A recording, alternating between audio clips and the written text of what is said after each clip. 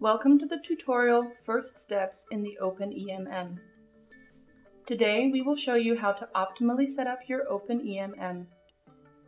Further information about the individual topics can be found in separate videos or by using our online help.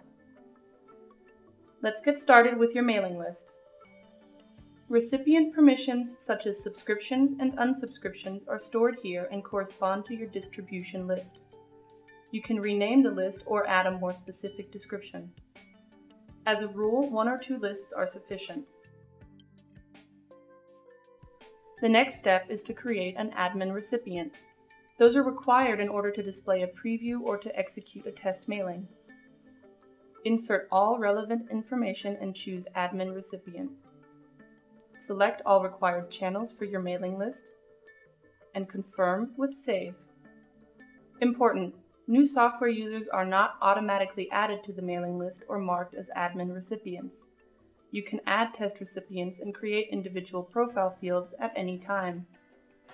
For legal reasons, you need an unsubscribe form. The Agnitas website offers you two pre-made forms to download. Insert your logo, address, and your imprint into both of them, and save your changes. If you wish, you can further customize the form or embed it into your website.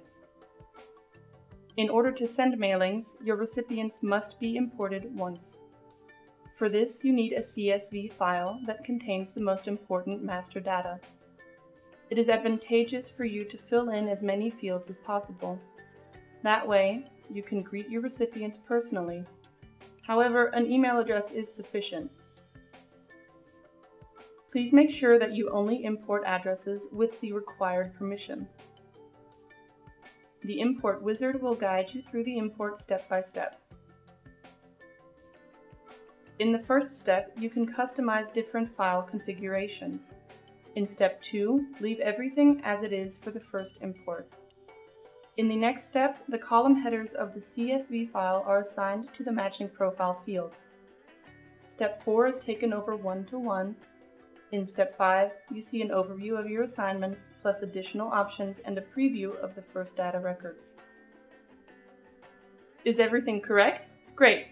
Then we can continue with step 6, an error analysis of your data records. In step 7, select the mailing list to which you want to import your recipients. And now the import is done.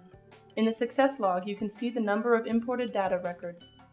The new addresses can now be found under Recipient. Congratulations! Your OpenEMM is all set up and ready to use. In the next video, we will show you how to create a mailing.